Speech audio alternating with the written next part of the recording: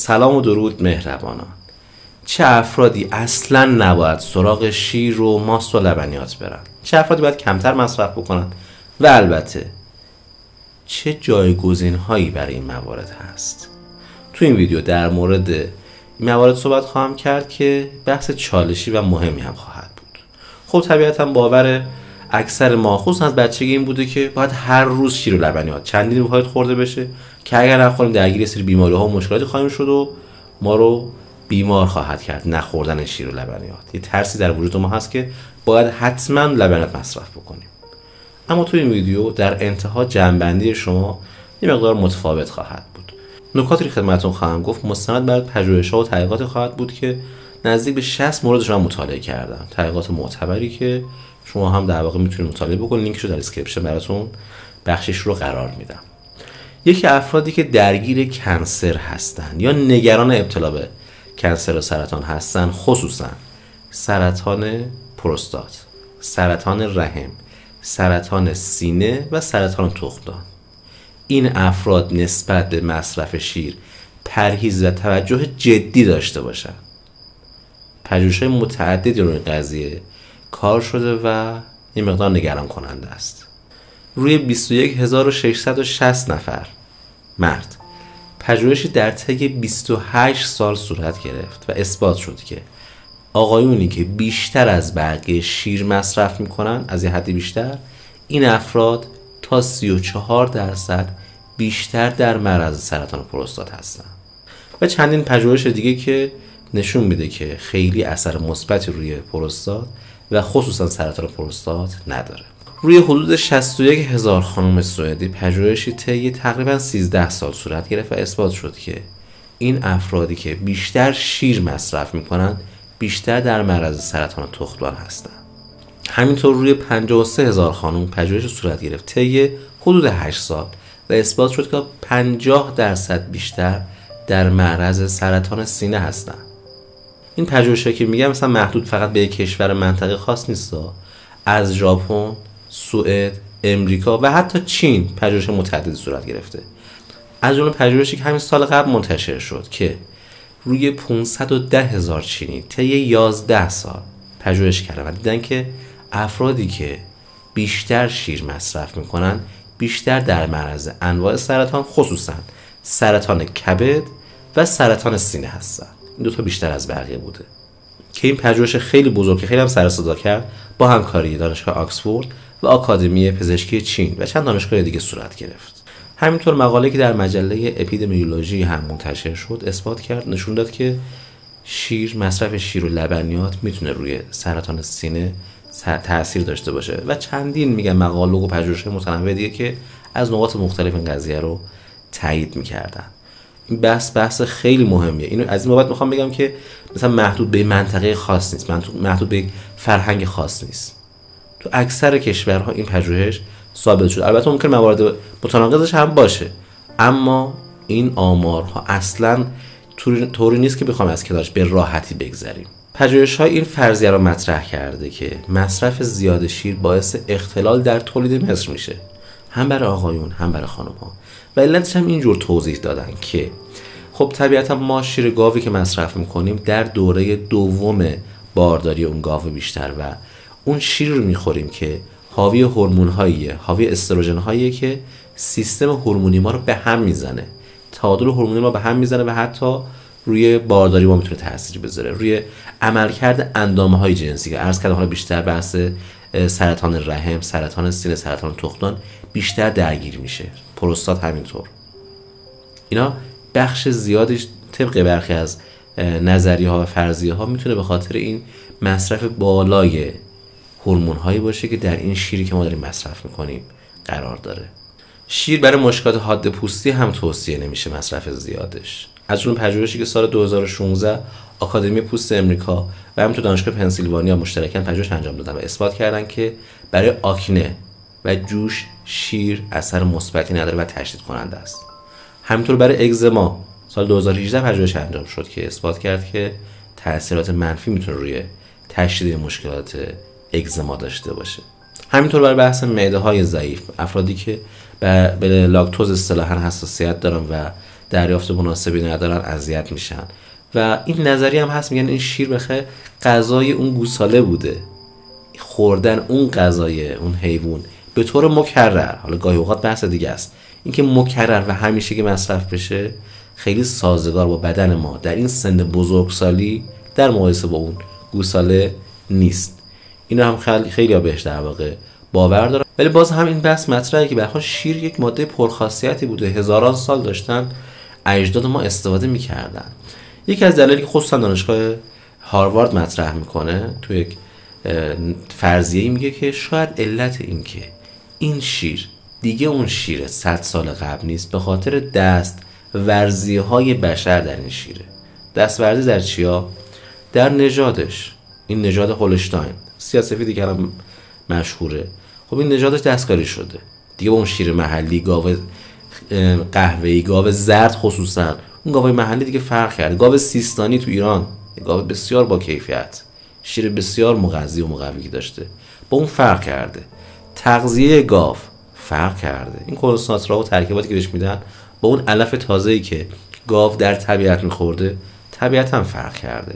به خاطر آنتیبیوتیک ها جنتامایسین انواع مواردی که به خاطر کاهش مرگ و میر و کاهش بیماری های گاو ها در حجم زیاد بهشون می‌زنن به خاطر اون شرایط بد نگهداری البته مجبورن بزنن. مگر گاوی که در طبیعت باشه اینقدر بیمار نمیشه. تو فضای محدود و بسته خب احتمال بیماریشون بیشتره مجبورن که بیشتر بهشون داروهای خاصی رو بزنن. به خاطر داروها. به خاطر شرایط نگهداری که عرض کردم اون فضای خیلی تحرک مناسب رو نداره فضایی که بتونه دفع بکنه بعضی از مواد زاده بدنش رو. این محدودیت ها هست. و باز گذشته از همه اینها نوع فراوری شیر. باز این کاری که در فاصله اون گاوداری دامداری تا کارخونه اتفاق میفته پروسه حالا نگهدارندایی که بهش می‌زنن برای که دیرتر خراب بشه بعضی از افراد می‌زنن بماند باز پروسه که در خود خود کارخونه صورت می‌گیره. فراوری کردن ها و تغییراتی که بعضا تو برخی از کارخونه نسبت به شیر صورت می‌گیره. مجموعه این موارد باعث میشه که دیگه این شیر از اون شیر با کیفیت قدیم و گذشته فاصله بگیره. خب چه کار بکنیم؟ چاره چیه؟ من خودم شخصا شیر می‌خورم. البته نه خیلی زیاد گاهی. ولی همون رو هم سعی می‌کنم از نوع طبیعی تر و سالم تر و مطمئن تر استفاده بکنم. گزینه بعدی نکته بعدی اینه که خب خیلی افراد شیر رو به خاطر چی می‌خورن؟ بیشترین نگرانشونه که میگن کلسیوم بدنمون تامین بشه. نگران درستی هم هست که بدن ما کلسیوم نیاز داره. اما بحثی که هست آیا این شیری که مصرف می‌کنیم به اندازه کافی کلسیوم ما رو تأمین می‌کنه یا نه؟ ببینید این شیر کمچرب و تغییر یافته بیشتر کلسیومش یا دفع میشه از بدن یعنی از طریق ادرار و مدفوع کلسیوم مازاد بدن کلسیوم حجم زیادی که از دفع میشه یا در بدن ما به جایی که جذب مناسب بشه ایجاد تجمع و توده می‌کنه. بهش میگن کلسیفیکاسیون که خارپاشنه و استخوان زائد و همینطور رسوب در عروق ها بخشی از این فراینده اشتباه و مشکل داره. تحقیقات نشون داده که ببینید نمیگن به شما این مطلب رو که این جدیدترین پژوهش ها برخلاف گذشته در واقع اینو اثبات می‌کنه که دیگه رابطه مستقیمی بین مصرف زیاد شیر و احتمال کمتر ابتلا به پوک استخوان نیست. یعنی اینکه هرچی شیر بخوریم کمتر دچار مشکلات استخوانی مفصلی میشیم دیگه این رابطه وجود نداره. خصوصا با این شیر. حتی در برخی از پژوهش ها رابطه معکوس بوده. یعنی هرچی افرادی که بیشتر شیر میخوردن بیشتر در مرز مشکلات استخوانی بودن. حالا پژوهش متعددی بوده. هم پژوهش های در واقع موردی روی گروه های خاصی یا پژوهش کلانتر که مثلا برخی کشورهایی که سرانه مصرف شیرشون و لبنیاتشون بیشتره اینا که چرا اینقدر آمار پوک استخوان و شکستگی لگنشون بیشتره؟ کشورهای مثل فنلاند مثل سوئد مثل استرالیا اون کشورهایی که اینقدر سرانه مصرفشون بالاست چرا تو آمار نگران کننده است رتبهشون در شکستگی استخوان و پوک استخوان؟ پس این رابطه دیگه رابطه خیلی قابل توجهی نیست. البته در بعضی موارد درسته ولی این نگاه عمومی رو نمی‌تونیم بهش داشته باشیم. میگادم نره که عذرخواهی کنم به خاطر این صدای جیجیرکی در محیط هست. البته من صداشو دوست دارم ولی خب چون امروز در واقع شرایط ضبط نبود من شب دارم این ویدیو رو ضبط می‌کنم. مهمان عزیزی هم که الان در background صدای من ملاحظه میفرمایید بالاخره با شما همراهه و چاره ای نیست دیگه عذرخواهم از این بابت.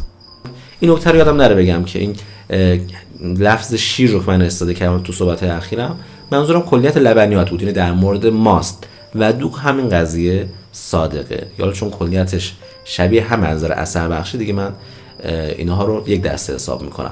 خب حالا چیکار بکنم به جای این شیر بخرم؟ بدنم کلسیوم که نیاز داره. بله. جایگزین های مناسب تر کلسیوم رو پیدا کنیم. تو خود لبنیات کشک خصوصا از نوع کشک گوسفندی. چون نوع کشک گوسفندی شیر در واقع سالم تری داره. گوسفند علف خورده. گوسفند معمولا مثل گاو دیگه پرورش دامداری نمیدن. تو طبیعته شیر شیر سالم تری آلودگی اون نداره و کشک ازش تهیه میشه. مطمئنا سالم ترین کشکه. حالا بعضا نگرانی دارن میگن که این کشکایی که مقدار نمک داره برای ما سازگار نیست ممکنه برامون خوب نباشه. شما اگه کشک مقدار بشورید یا خیسش بکنید تا حد زیاد اون نمکش جدا میشه از دیگه جای نگرانی نداره. ولی تو بحث جذب کلسیوم در جریان باشیم که یک کاسه حالا غذایی که با کشک درست شده باشه. مثلا مثل غذای مثل اشکنه کشک یا کالجوش یا کالجوش یا کشک بادمجون غذایی که در واقع توش کشک داره. یک کاسه در واقع غذای حاوی کشک مناسب. به اندازه بالای ده لیوان شیر جذب کلسیوم مناسب داره بدون عوارض. کشک اولویت داره توی لبنیات. پنیر هم. بازم توصیه می‌کنم پنیر گوسفندی. یا پنیر گاوی مطمئن رو با کیفیت که دیگه کیفیت شیرش بالا باشه اون هم مصرف کردنش خوبه. حالت بهتر پنیر رو شب بخورید با گردو بخورید و زیاده روی نکنه. هفته یک دو مرتبه مناسب مصرف کردنش. یکی کشک یکی هم پنیر محلی. اگرم خیلی طرف اصرار داشت ماست بخوره بهتر ماست چکیده باشه که میزان اسید لاکتیکی کمتری داره و البته اون هم از نوع مطمئنتر و طبیعی ترش توصیه می‌کنم. ولی بهترین گزینه بازم میگم کشک. کشک محلی و یا کشک گاوی مطمئنتر. اشکال نداره خیلی هم مناسبه. بدن شما هم در واقع نیازش تامین می‌کنه. و سایر کلسیوم های طبیعت کلسیوم های گیاهی مثل بادام کنجد توی سبزیجات همینطور می‌تونیم سراغ کلم بریم. مغزجات سایر مغزجات خیلی مناسبن. و سیب خصوصا. مواردی هست که در واقع طبیعت نیاز ما به کلسیوم تامین می‌کنه و لازم نیست که حتما مانور اصلی اون روی لبنیاتی مثل شیر و ماست و دوغ باشه. زمینی که شما می‌تونید با بعضی مغزجات و دانه ها شیر گیاهی درست بکنید ماست گیاهی درست بکنید دوغ گیاهی درست بکنید پنیر گیاهی درست بکنید. که حالا من بخشش رو حالا آموزش دادم در ویدیوهای مثل شیر بادام دوغ بادام شیر گردو شیر پسته. ماست بادام. که حالا میگم بخشش رو قبلا گفتم بخشش رو بعدا در بیشتر توضیح خواهم داد ولی می‌خوام بگم که شما محدود نیستین. این شیر بادامی که می‌خورین ظاهرش عین شیر بازار بدون ماده لبنی بدون شیر ولی از اون خوشمزه تر دوغ بادامی که شما مصرف می‌کنید مزهش با دوغ بازار فرقی نمی‌کنه اما از اونم خوشمزه تر و بدون آرزه سالم تر که اتفاقا برای مشکلات استخوانی هم عالیه. حالا لینک اینا فرصت بشه براتون می‌ذارم که ویدیوهاش رو ببینید آموزش رو ملاحظه بفرمایید.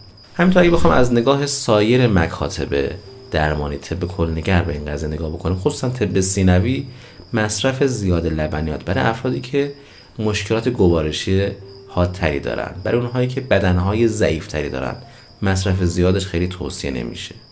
برای افرادی که درگیر حافظه ضعیف هستن مصرف زیاد لبنیات خیلی توصیه نمیشه مگر با یه سری غذایی که اصلاح کننده این قضیه هستن. اینم حواستون باشه.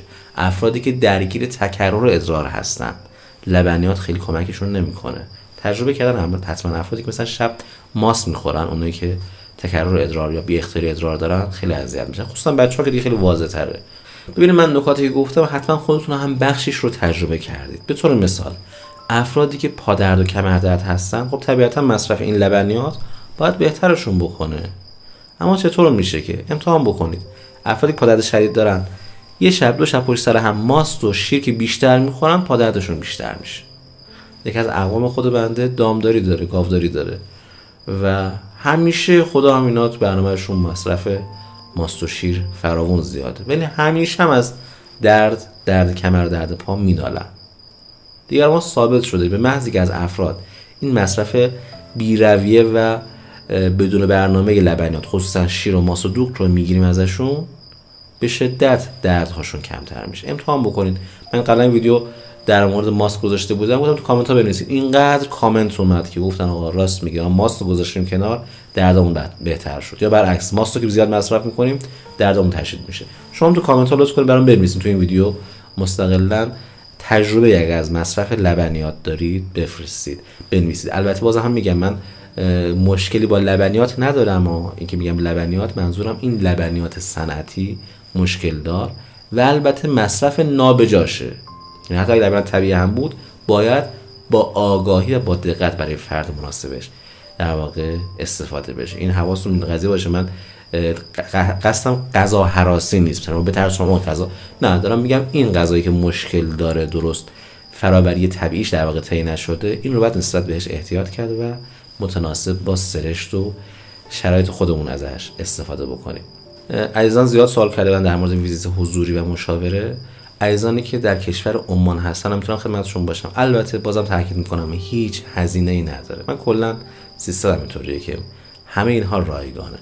تا حالا هرچی مشاوره و ویزیت و سخنرانی و سمیناری که داشتم ریالی بابت اینها دریافت نکردم.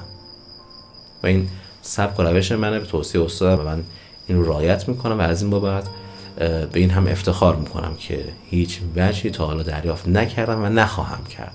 حالا برای هماهنگی می‌تونیم با ادمین واتساپ برای ویزیت حضوری هماهنگ بفرمایید که تشریف بیاره خدمتتون باشم. طبق روال همه ویدیو که البته استقبالم شده از این معرفی من کتاب معرفی بکنم خدمتتون. این کتاب البته مقدار متفاوت رمانه. رمان بسیار جذاب البته به زبان انگلیسی. عزیزانی که خارج ایران هستن می‌تونن تهیه بکنن در چون در سایت آمازون و خب قابل دسترسی در ایران نیست. کتاب بسیار عالی یک رمان جذاب و واقعا برای من خیلی آموزنده البته بوده چون نکات و ظرافت زیادی در دلش گنجونده شده. اگر دوست داشتین رمان رو خودتون بخونید یا هدیه بدین به یک فردی که علاقمند باشه به مباحث خیلی هدیه ارزشمندیه. فضاش فضای علمی تخیلی ولی خیلی نکات جذابی تو این رمان هست که حالتون رو در نهایت خوب خواهد کرد.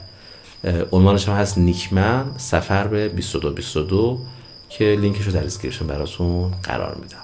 طبق روال همه ویدیو یک channel خوب هم معرفی بکنم channel سلامت ذهن. از استاد عزیزم پروفسور دانش که البته خودشون که نه علاقمندانشون ایجاد کردن مطالب ایشون رو تو این channel قرار دادن. و البته چندین channel مناسب و جالب دیگه هم در موضوعات مختلف هست که لیستشو براتون می‌ذارم. برای رسیدن به یک آرامش ذهنی رسیدن به یک فضای مثبت و حس خوب شما رو قطعا کمک می‌کنه. این تجربه شخصی خودمه. دوست داشتم با شما هم به اشتراک بذارم که از این فضای channel خوب استفاده بفرمایید. کلا مطالبی که تو description می‌ذارم رو دقت بکنید. لینک های خیلی مفید و کاربردی. ضمن اینکه لینک این پژوهش ها و تحقیقاتی هم که تو ویدیو اشاره کردم رو تا جایی که جا بشه در description قرار خواهم داد. خیلی ممنون از صبر و حوصله و توجهتون. امیدوارم که همیشه شاد و سالم و سرحال و پر انرژی و بانشات باشین. خدا نگهدار